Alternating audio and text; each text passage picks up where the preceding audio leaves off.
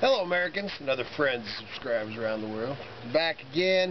Um, I was going to show these. I wasn't going to do it. What? He's trying to get under your hat to avoid the rain. my beard. Yeah. But, uh, getting smoke. I wasn't going to do another video. Miss Kitty's all, you said you're going to do it at the end of that. So, bring a black crap on me. Man, it has been raining on me off and on all day. Uh, now Miss Kitty's trying to blow it to me.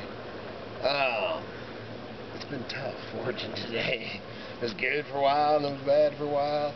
And I still got two bacon in there that we're going to get back to to finish up. But So anyway, so I was going to go over these. There's one of the, um, I guess I'll sign it, but one of the uh, Trap Spring liver eating Johnsons.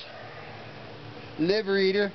And I got another little uh, nice little patch knife and you can put it around your neck or you know, a little scabbard in your pocket. And these are already sold. Got to get them shipped out.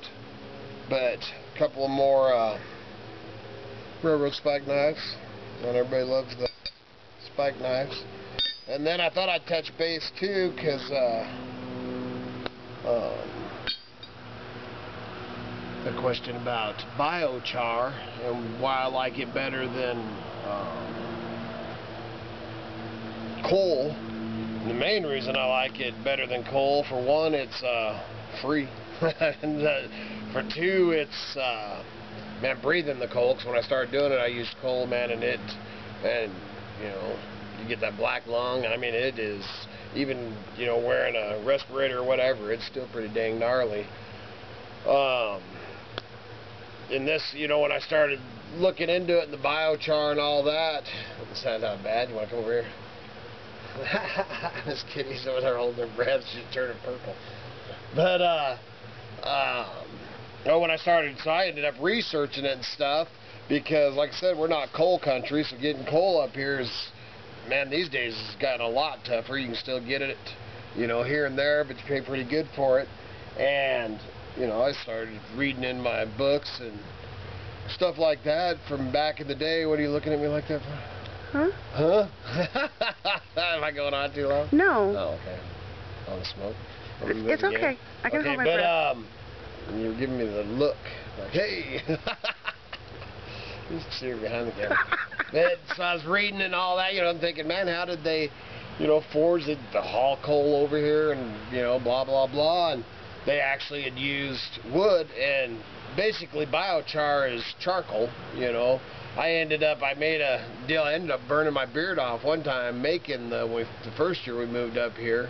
And, you know, you burn it down. A lot of people use drums. I had this old stove that I used, and you, you get it burning, and then you shut it down with just a little bit of air, and basically it makes charcoal, you know. But we've found, I started, after doing that, after burning my beard off and stuff, I started going up to the burn areas, and I've used it enough now, I know, um, I can just look at it and tell if it's good biochar.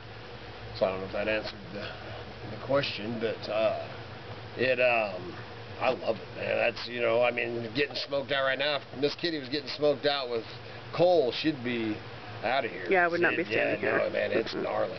But this, I mean, it just smells pitchy and piney, so I just like the biochar. But anyway, back to the knives, the liver eater and the little uh, patch knife will be, I gotta go in there and sign them, and then uh, they'll be on Idaho Hillbilly. And of course, those spikes are available for pre-order. Yes, you can pre-order these. I actually got an order for four of them. So I'm gonna finish up the other two. They'll be finished tonight, and if I don't die out here smoke inhalation. So, we'll check in again tomorrow. Y'all have a wonderful evening.